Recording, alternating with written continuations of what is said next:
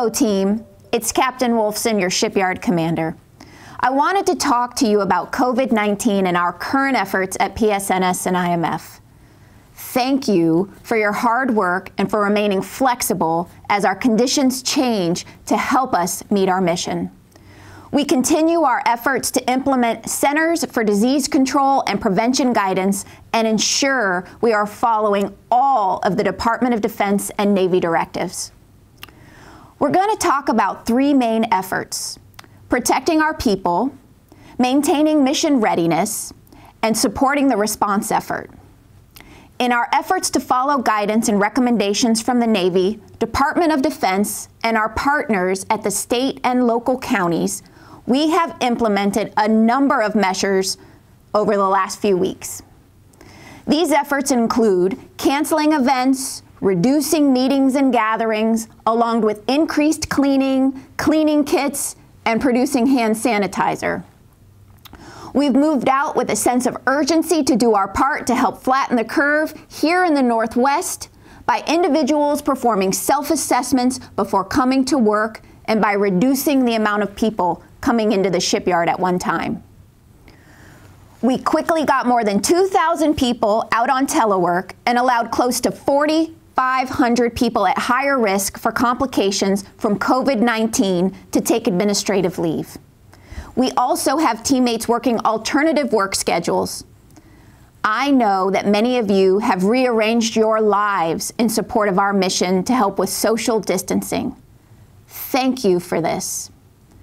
These efforts over the last couple of weeks have provided us, along with the base and the region, additional time to prepare and fully consider what we can do to help our teammates both here and at home. We have also had an opportunity to get better educated on the proper hygiene, to combat COVID 19, and what social distancing actually means and how to implement it. Amid this chaos, I am grateful for my family, my health, and my job. I'm grateful for the ability to serve our country and be part of something bigger than myself. It helps reassure me and provide a sense of purpose. We know how to maintain ships and ensure our Navy is ready to defend our nation. We are needed and we know how to do our jobs. It's a privilege to work in the defense industry and to have a role in mission critical work. While things aren't easy right now, we are very lucky, especially compared to many of our fellow Americans. I have always believed in taking care of our people, but I see that purpose now more than ever. We must take care of our people so that we can come back quicker and stronger.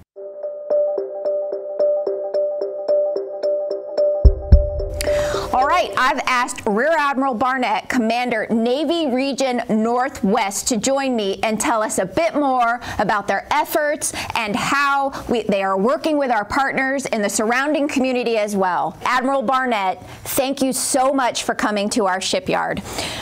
I know that you and our teams have been working so hard at all of our installations to ensure that we are minimizing the spread of COVID 19. Can you tell us more about what we're doing to protect our folks? Thank you for that, and thank you for the opportunity. Um, that's a very good question. What I'll tell you is that the well being of our workforce is my number one priority. The civilian sailors and the active duty sailors and their families. Uh, one key thing that we're trying to do better is our communication. Key to taking care of our sailors is communicating what we're seeing, is communicating internal to the installation, but also outside the fence line with our state and local authorities and also with the appropriate folks uh, back in D.C. and everybody in between. Mm, wow, that's a lot. So, and we really appreciate all of those efforts. Can you describe some of those health protection measures? We've been talking so much about health protection measures. Can you talk about that with us? Certainly, and we're doing a lot of things right now. Right now, we're in HPCon Charlie. Uh, but we're doing a lot of different things to make sure we're maintaining the appropriate social distancing. And as we try to actually um, flatten the curve. Everyone's heard that term, so we're trying to flatten the curve. So we're doing things like um, our VCC, our visitor, our visitor control center. Uh, what we're doing with that is we're queuing up people a little bit differently. Uh, we're doing things with our CDC where we're adjusting some of the times and who and how we take care of our of our folks. We're checking the uh, little kids when they come in to make sure they, you know, and that they're well. Uh, we're doing things with our MWR. Some facilities we've actually closed down, but a lot of our food stuff uh, is still available, but it's for takeout only, and that's also for the galleys. So we're being innovative with things, and we're trying to come up with new ideas on how we can still work because we do have an important mission here. Yeah, those are um, those are very significant actions. I would say I, I agree. And so, um, from the efforts uh, that we're seeing, uh, I think I've, i think we've made progress. So, what about um, our future? W looking towards the future efforts that we're putting in place, can you talk to us a little bit about what our workforce would expect to see as we move forward, and any future actions? Okay, yes, and that's an, another great question. HPCon Charlie, we're doing a lot of things, as I mentioned earlier, with H HPCon Charlie. Um, we are aligned with Northcom, with uh, CNIC, with our state and local and our other government, uh, know, whether it's FEMA, uh, the tribal authorities on where we're at. I feel pretty comfortable with where we're at right now, and what we're doing is actually having a good effect on trying to flatten that curve. Um, but if we need to go up, we do have that, you know, that opportunity, or if that opportunity presents itself, I have the authority to do that. But I think we're in a good place right now. Uh, the communication uh, between us and between the other stakeholders is key to that. And a lot of the ideas, or a lot of the measures that we're doing now, you guys came up with it and you passed it to us. So uh, key is communication, and it's also running that up the chain uh, to make sure and that we're aligned with the whole of government effort. Yeah, and I, I think um, I think you can see a lot of the measures that we've been closely uh, working with you. You right. see some of the measures even as you walk into our turnstiles, for right. example, right. Um, every day. So, uh, so what what can we do to help ourselves even more. We've got to look at that from a future perspective, but then what else can we do to help our workforce and what, what efforts uh, can we assist with? Um, three things be compassionate, uh, be patient, but most of all, be flexible. Uh, one of the more important things I would like to stress is if you're not feeling well, please stay home. Please stay home. Use your questionnaire. Uh, I believe everyone knows about the four or five questions that we like to ask everybody on how you're feeling. Uh, if you're not feeling well, call your supervisor. Mm-hmm. Uh, contact your medical, you know, your medical professional, and say, "Hey, I'm not feeling well. Stay at home uh, because uh, you can heal better at home, and then we can get you back into the workforce." Uh, the other thing that I would ask is that uh, keep an eye on your shipmates. If you see someone who's not feeling well, because we're all pretty much type A personalities, we want to come to work, we want to uh, do that mission and be done with it. You know, we can we can juggle and adjust some things so we can still get the mission done. Uh, our job is to take care of you, and um, that's what the installation is here for. So you're our customer. So let us know what we can do for that. But I ask and that you also be patient with some of the folks who you may see because uh, at the front gates, the ECPs may queue up on occasion and things like that. So uh, your patience and understanding is definitely uh, appreciated for that. Okay. Thanks, Admiral. Uh, we really appreciate, I know our workforce does, you coming here to talk to us today, and uh, we look forward to working together. Thank you, ma'am. I appreciate you. Thanks.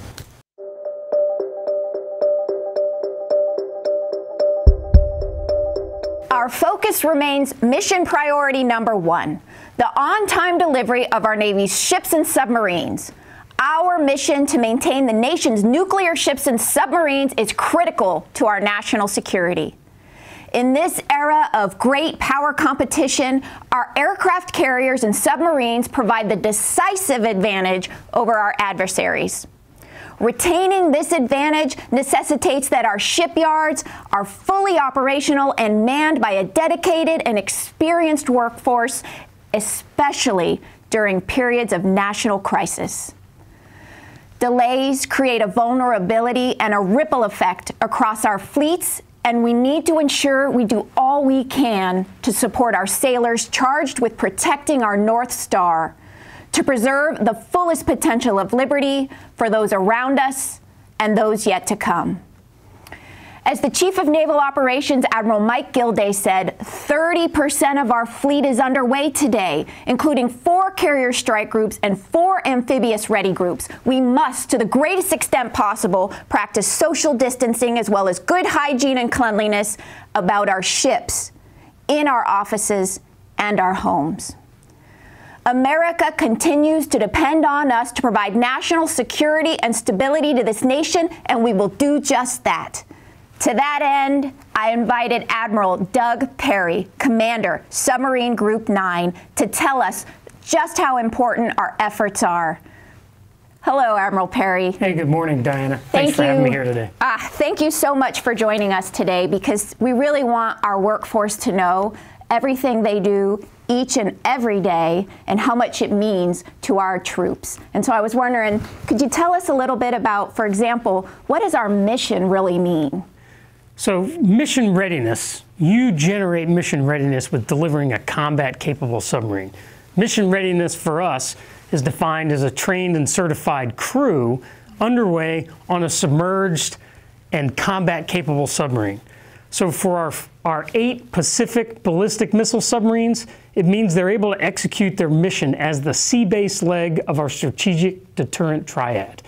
In the case of our SSGNs, they are able to provide unprecedented strike and special operations capabilities to the combatant commanders throughout the Indo-Pacific and the globe.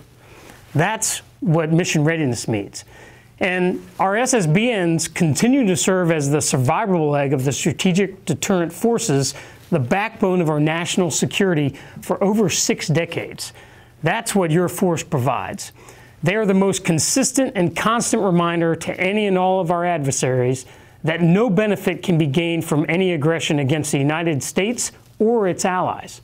And now more than ever, as you have said, we must maintain a resilient, trained, and combat ready SSBN and SSGN force to fulfill those Pacific and global missions.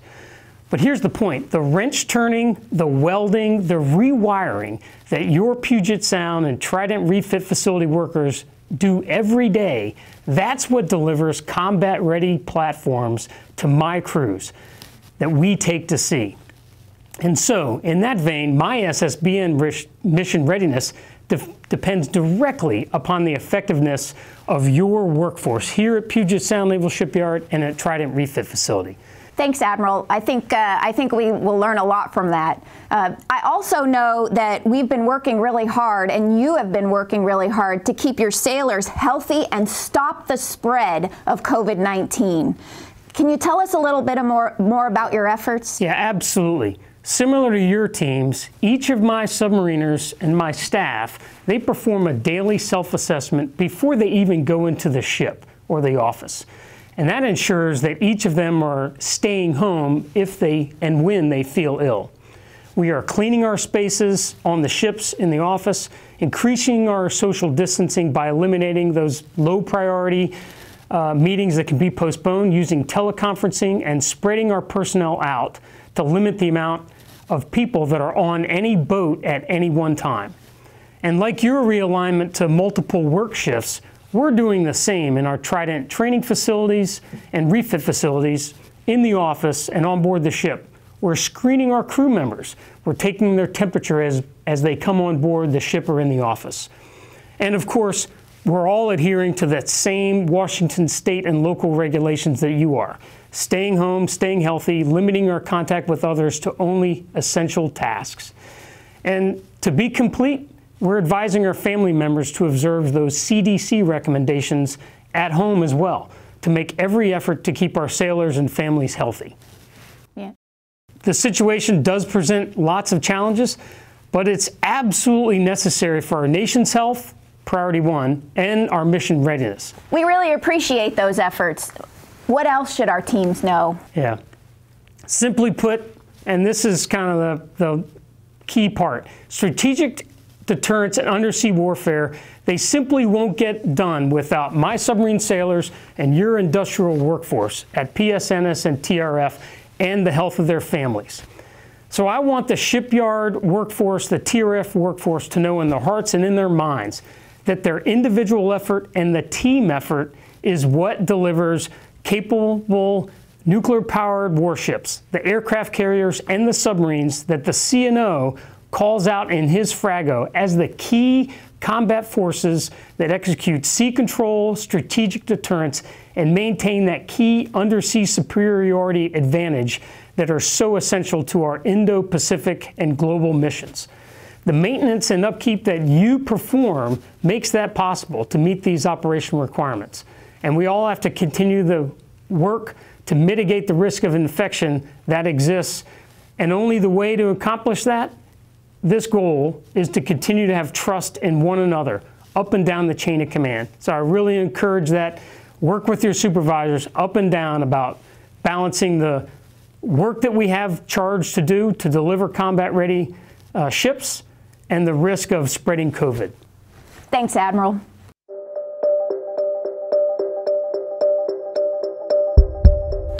All right, we've been talking a lot about our efforts here in the shipyard to ensure we have the safest environment as possible. We have learned a lot over the last few weeks. We've canceled events, we've changed our meeting posture, we've started making hand sanitizer, cleaning kits, and we've increased the frequency of contracted cleanings. We've been on an education campaign to ensure we are doing the right things individually as well. This includes washing our hands, ensuring other strict hygiene practices, social distancing, and staying home if you aren't feeling well. It's our responsibility to ensure each other, our community, and our healthcare system. I've invited Captain Scott from Naval Hospital Bremerton here to discuss COVID 19 prevention. Captain Scott, thank you so much for coming. We have been looking forward to this visit because we have lots of questions. So, first off, I think what our workforce would really like to know is how do we minimize the spread here in our industrial environment for COVID 19? Yes, ma'am. I am so glad you asked. Preventing the spread of the virus requires a total team effort. Each one of us must do our part, whether it is in our homes, in our community, within ourselves. We want to battle collectively to defeat COVID 19. So, here are some recommended actions that you can take self assess, frequent hand washing, good hygiene, and social distancing. Mm. So those are great points, and I actually feel relieved that you're saying this because that is what we have been really focused on. We have been focused on self-assessing, screening, making sure that we understand it is imperative that we evaluate our health before we come to work. And so that has been really important for us. And so I think what some of our folks would also want to know is how do we help our community, and especially our medical community. Yes. If you are sick, please stay home and contact your supervisor. This has been the recommendation even prior to COVID 19. We have now added that if you feel sick and you believe you have symptoms of COVID 19, please consult your healthcare provider or clinic by phone. For individuals without an underlying health condition, self care at home will be sufficient in most cases of the flu and COVID 19. If you believe your symptoms are severe enough, that you need medical care, we do ask that you call ahead to your doctor's office, urgent care clinic, or the emergency department and let them know that you believe you have symptoms of COVID 19 so they can take proper precautions. Today, we instituted a drive through screening and triage process to determine the right course of care for individuals who present to the hospital. Based on CDC criteria, everyone, staff, patients, and visitors who arrive on base will go through the process, and that's considered to be a best practice across healthcare systems. It is important to keep in mind that not all patients who are screened will be tested. The drive-through process is a safe, efficient, and convenient approach to effectively assess the needs of individuals seeking care. This process will be opened from 9 a.m. to 8 p.m. seven days a week. Wow, that sounds like a great addition to our community in general, this drive through. So I'm really looking forward to seeing how that works for us. Uh, and I also know that uh, you and your teams have been working very closely with everyone in our community and Kitsap, Kitsap County Public Health. Um, what more do we need to know? What more can you help us and tell us today? What more do we need to know? It is vital that we listen to the guidance being put out by health, public health departments and follow those recommendations.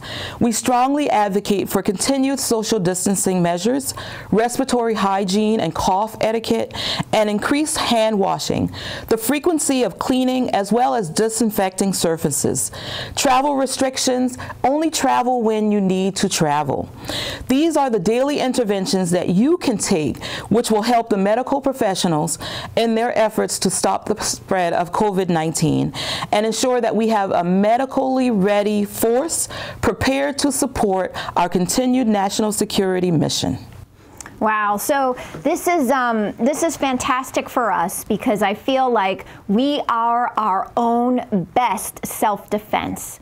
Um, can you can you share a little bit more with us on uh, you you know we talk about you know make sure we wash our hands, don't touch our face. What what what is the hazard of doing that? Yes, ma'am. As easy as it is to say, don't touch your face, we know it is very difficult to not touch our face. But one of the reasons why we do ask not to touch your face is because that's where our germs live. And so when we touch our face, we can touch our eyes, our nose, our mouth, making it more accessible for viruses or any bacteria um, to enter into the body. So it is really critical, again, strict hand washing, don't touch your face, clean the surfaces, maintain good social distancing, good cough etiquette, all of those things are so important to us preventing the spread of COVID-19. Mm -hmm. Okay, so those are just absolutely great reminders, and it's something that we have to keep present at all times.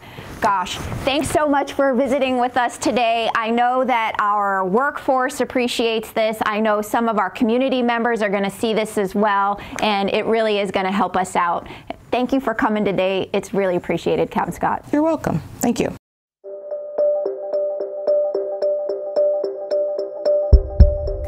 This is a true test for many of us. It is in difficult times that our true character is tested. The Secretary of the Navy, Thomas Modly, said it well. Our efforts are about character, the character that is required to meet this challenge and the ever expanding challenges of our collective future. We have the right character. I do not take our mission lightly. Our Navy and our nation need us. We are aligning our COVID 19 efforts to our work and our mission. We must be focused on our resiliency for the long term. Please stay healthy and let's keep our minds grounded because we've got this. We are one mission, we are one team.